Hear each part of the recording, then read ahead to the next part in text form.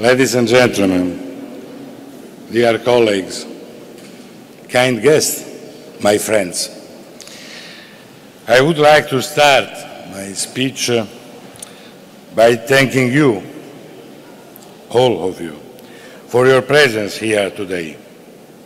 It looks like yesterday, but it's already past one year since, uh, thanks to the Japanese government foresight, it has been given new impetus to such an important project like the one related to the need to address at the G7 level the key issues related to the impact that the digital revolution is having on the entire society, on citizens, on businesses. We all know that uh, within a few years there will be a progressive uh, connection to the ultra-broadband network of thousands and thousands of objects today unconnected. The diffusion of next-generation fixed and mobile convergent networks will play a key role in this scenario, enabling a fully connected and inclusive society a multiplicity of services that can be used simultaneously. Digital is really an extraordinary opportunity. In this context, the impossibility to access Internet can be the main factor of social exclusion in the near future. Here, it comes the political dimension that is able to solve such problems. And the political dimension first refers to the responsibility of the richest and most developed countries. But uh, the challenge today coming out from the digital revolution is not just related to the connectivity concept. Access, in fact, is just a part of the picture. The big challenge is to drive the process of technological development, which is now running at the speed of light, keeping the human being protagonist and at the center of the scene. This, really this, is the challenge for our countries, for our governments, and more for our democracies. Let's think all together, for example, about the still unimaginable impacts that uh, the development of artificial intelligence, the full realization of the Internet of Things, the massive use of nanotechnologies, or the development of the 5G can guarantee to citizens and businesses. Then, the key objective that you must pursue is to work together to develop a fully inclusive digital information society. The new information and communication technologies today are able to ensure a sustainable global growth, the spreading of stability, the digital inclusion for all the citizens, and the development of the entrepreneurial layer while respecting the environment. In this regard, the importance of the G7 ministers' meetings, as well as the connected events, such as this multi-stakeholder conference, is tied to the opportunity to share and coordinate together all the possible actions to unlock the potential of the new technology at global level citizens and businesses need to be able to connect to the network and become part of the digital society, which must not therefore be a landmark of a few, but of all. Italy is fully committed to doing its part, and in the last two and a half years has adopted regulatory and technical tools to stimulate the country's alignment with the international trend of growth in the digital sector.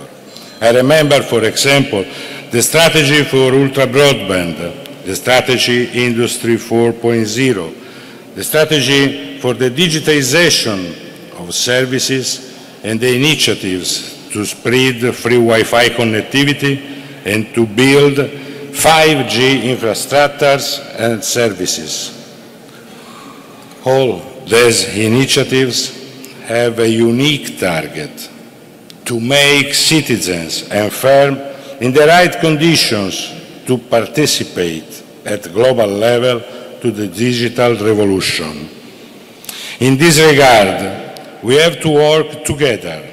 We have to start from collaboration to affirm the realization of a society where freedom of citizens to move on the territory is followed by the freedom to market with uniform rules, as well as the freedom to enjoy services and content regardless of where we are located, which media we are using, and at what time we connect.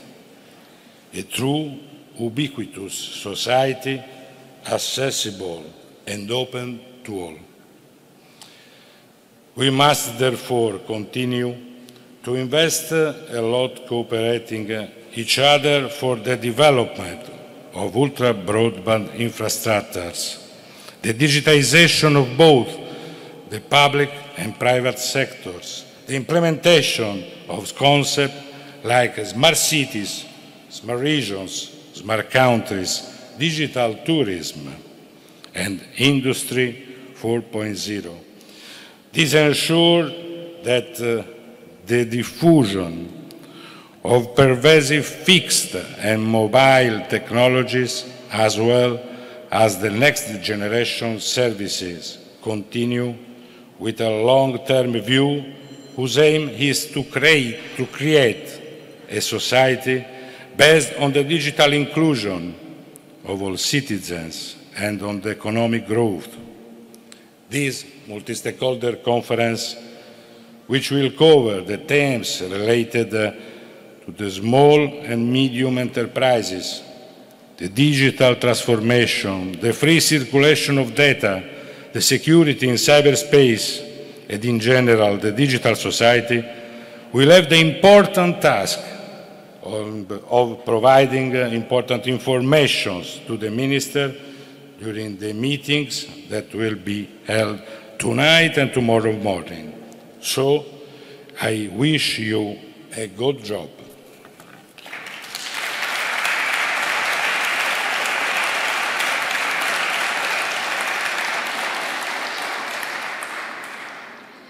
Diego Piacentini, Commissioner for the Digital Agenda, Italian Prime Minister's Office, is invited to take the floor.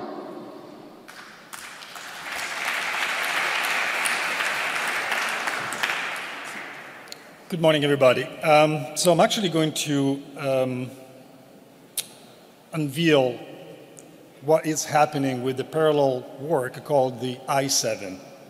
i7 is the Innovation 7, and uh, what is exactly the i7? First of all, I'd like to characterize the i7 as an experiment. It's uh, um, patronized, and actually it's an idea of the Italian uh, Council of President Minister's Office.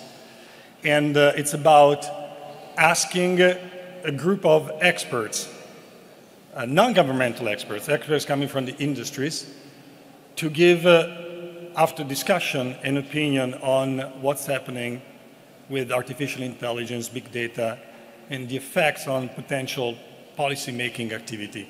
So the I-7 is actually gathering at the same time in, uh, in, uh, in a few rooms uh, in the same office.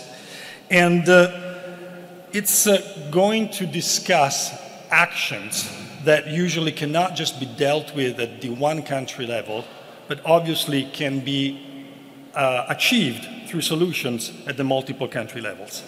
The I7 will generate ideas and practical suggestions, both short-term and long-term visions, and governments will decide if and how to make use of them. Um, it's about 38 experts which are discussing about three what we believe to be fundamental questions. Question number one is how can help, uh, artificial intelligence help governments make better decisions and deliver policies and services more effectively? So we're not just discussing about artificial intelligence in general, but it's going to be a focused discussion on how AI can actually help governments make better decisions. What's the background of this question?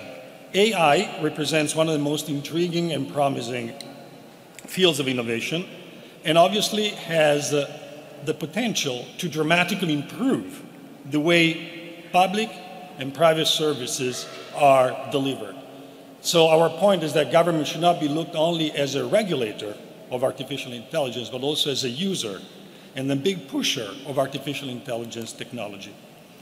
Indeed, artificial intelligence has, already in some cases, plenty of applications in government. As an example, NLU, natural language understanding technology, can help improve service for citizens sees customers. That's just one of the many potential applications.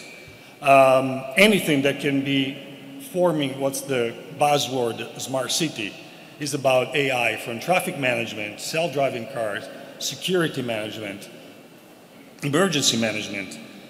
Uh, AI technologies may not be today governable, but this existing regulatory framework.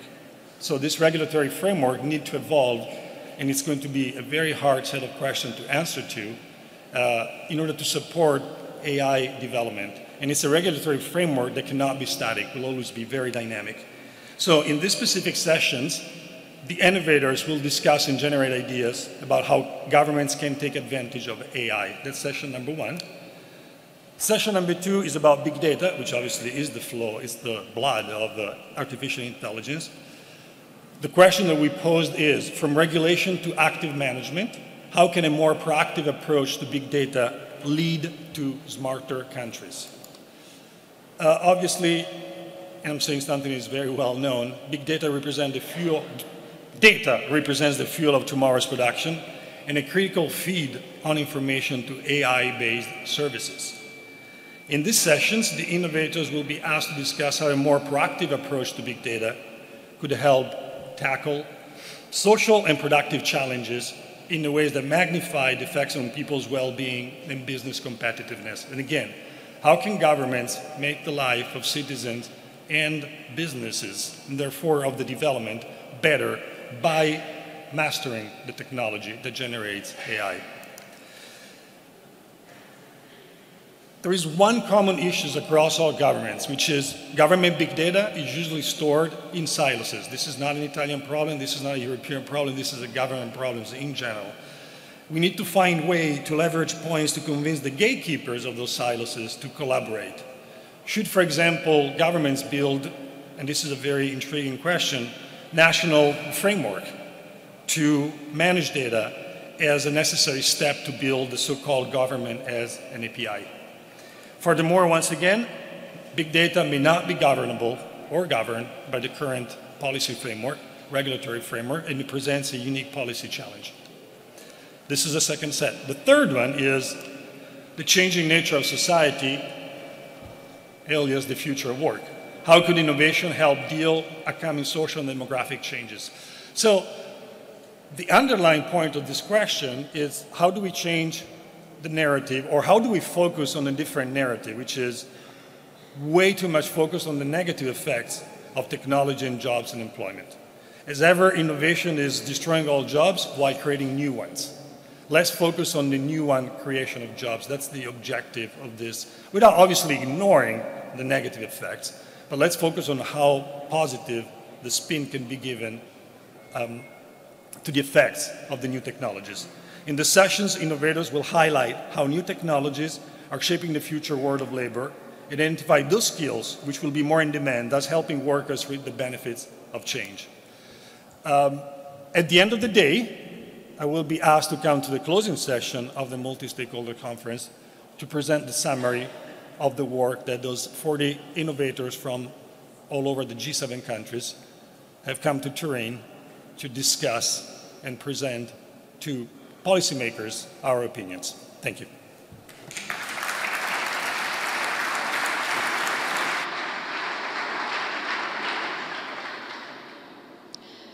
Göran Marby, CEO and President of ICANN, is invited to take the floor.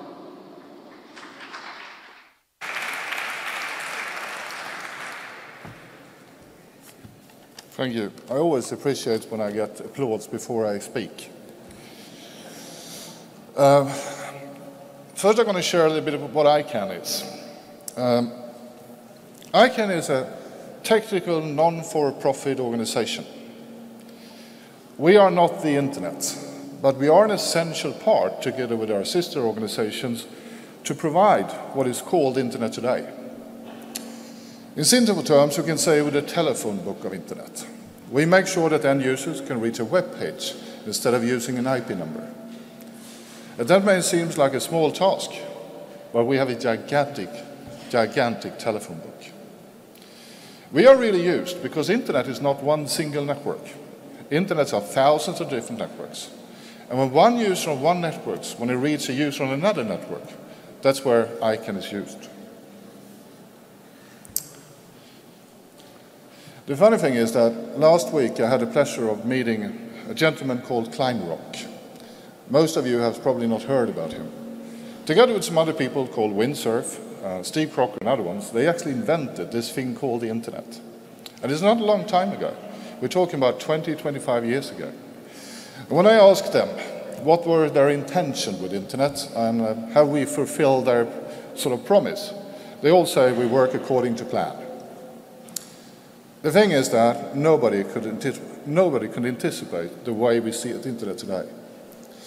Internet today is much more than a technical solution. Internet today is something that reaches all parts of our life, education, business, some gossip, and also our love lives. That's why ICANN is one of the first organizations that uses a multi-stakeholder model. The multi-stakeholder model for us is to make sure that everybody can have their voice heard. We have everything from academia, businesses, governments, end users representing ICANN. And the reason for that is that no one can speak for all users of internet because we all use internet very, very differently. Internet is unique for its users, and I think that's one of the reasons why it's so successful. It's also important to do that to make sure that no one can hide hijack the functions we're providing for the end users of the world. But we're also part of a much bigger ecosystem. You have everything from ISPs, telcos, governments with spectrum, manufacturers of equipment, everybody who plays content on the internet. We're all part of the same ecosystem. And that's really what makes internet so unique. There is no central point of the internet. There is no off switch of the internet. Internet is represented by the three and a half billion users connected to one system. There is no control over the internet. And that also creates a problem. I know that the UN system talks about a billion, one and a half billion more users uh, in the next five to ten years. Most of them is going to be mobile. Most of them will not even have using English as a context. Most of them will come from countries in Africa, Asia, and South America. For up to the users we have now have often been the elite. The users can afford to have access to internet, who knows how the system works. I think that the next generation internet users will be very different. That also creates a challenge for us. We have a global system, but now we have to build it with local because the end users of tomorrow will demand more local information in local languages. In ICANN, we work a lot with that, but we also see that we have to work together with everybody to provide those services. But there are also threats. I know that you're going to discuss those things as well. Hate speech, cybercrime, cybersecurity are all things that are there. But I also want you to not forget all the positive things with internet. Because one of the things that we see right now is what we call the road to hell is paved with good intentions. There are many legislative, legislative proposals around the world right now who can actually break the interconnectivity of internet going forward. And we have to make sure to work together so that doesn't happen. We have all benefited from one connected system. There's a lot of people who now have much more information than they had before. They have the ability for education, for businesses. That's built on interconnectivity and nothing else. And we need to work together to make sure that we don't end up where we localize internet to that point, that we don't have the global system anymore. There's no denial that we have problems. But internet has been successful because we have found ways and methods to work together. That is the important thing. We every day are challenged with things that no one has seen before because it has been no internet before. A lot of the things we see and a lot of the problems we see is because of the internet, yes. But it's also because we have now have end users in almost every corner of the world, when we've never seen those challenges before. I think this conference is very important. I think the discussions here are very important because we have to find ways to preserve what is good and methods for solutions in the future. We've done that before in the internet community. We have to broaden that discussion, and I'm very happy to see initiatives like this where we broaden it. And I want to end to quote one of our sister organizations, ISOC, who has a tagline which I really love. We're all in this together. Thank you very much.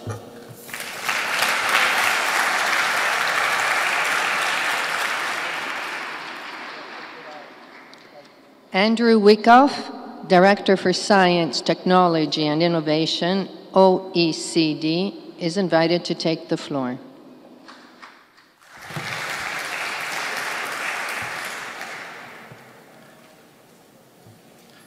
Good morning.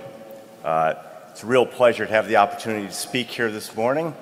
Uh, I welcome meetings such as these, in particular the two, three previous speakers have set me up we're in a time of fantastic change, and with it, I think everyone would agree in this room that governments need to improve their awareness of the digital transformation that's upon us, where the pace of change has really uh, been, been breathtaking, as many have said. We all carry around circa 1992 supercomputers in our pockets. We've seen they're 24 7 connected across the G7 we have 90% of people with high-speed broadband connections. And with it comes new challenges such as automation that are going through our various industries and confront a reality where 40% of the workforce now across the OECD countries only has mid-level capability of dealing with problem-solving technology-rich environments. That number drops to 15% if you're over 55 where I see that's not really the case in this room. Um, and it's a technology change that's, that's driving this.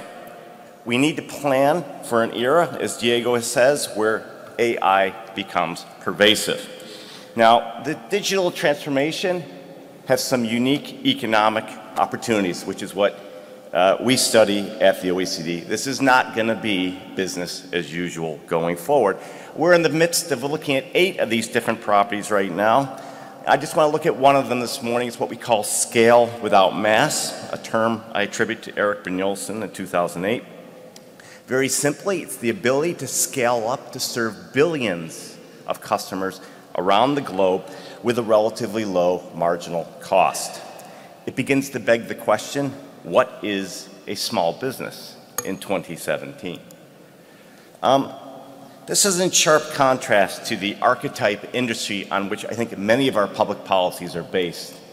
The auto industry, which kind of defined 1980s and 1990s economies in many ways.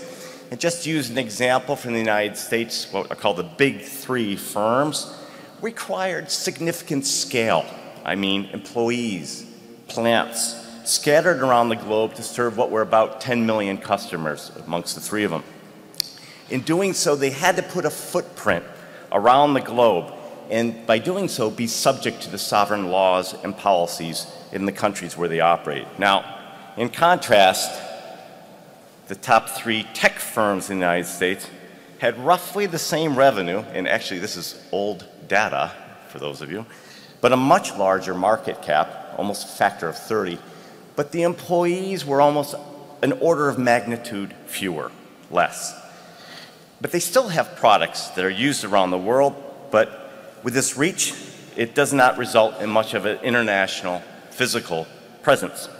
Now, I know what many of you are thinking. This has got a lot to do with taxation, which is high on the agenda. And in fact, that's true, but it has to do with many other policies will be affected by this. Think about trade policy. Um, scale without mass enables e-entrepreneurs, like those who operate on eBay, to be born global, which vastly expands the markets for SMEs and gives SMEs a great opportunity if they can in fact seize upon it. Scale without mass will lead to new growth dynamics uh, with those firms who get it may vastly outperform, the rest. Uh, our research shown here shows, in fact, this is the case.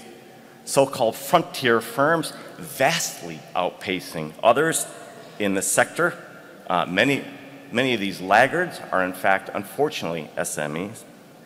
And it's true for services generally on the right, but it's especially true for what are called ICT services on the left. In both cases, worryingly, the gap is growing over time. So let me pause for a second and just put on the table, I think, three broad-based implications for policymaking. One, as people have said before me, we need to rethink many of our policies and make sure that they're suitable for the digital era. Two, it can't just be identifying a narrow sector. This needs to be broad-based across the economy and require a whole of government view. And third, now is the window of opportunity during this transitory uh, period. We need to be proactive in the policy world instead of being reactive. Now, the next production revolution is to the OECD at least a confluence of technologies, everything from robotics to big data to new materials. But at the heart of it, the common element is data which allows these technologies to be combined. And it's this combinatorial capability that I think is truly revolutionary and begins to form what others have called an ecosystem, complete with feedback loops, which will lead to further innovations we can't even think of. Now, all these technologies are flowing into our manufacturing and service sectors, which will be transformed by data flows and their analysis. This will change what I call the topography, the mapping of global value chains, as it has for this Philips shaver that used to be completely made in China and now is back in Drachten, Netherlands.